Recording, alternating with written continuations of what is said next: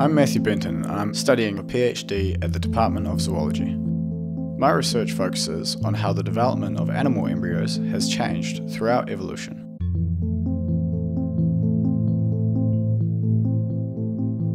This movie shows the movement of nuclei in a beetle egg as the beetle embryo forms.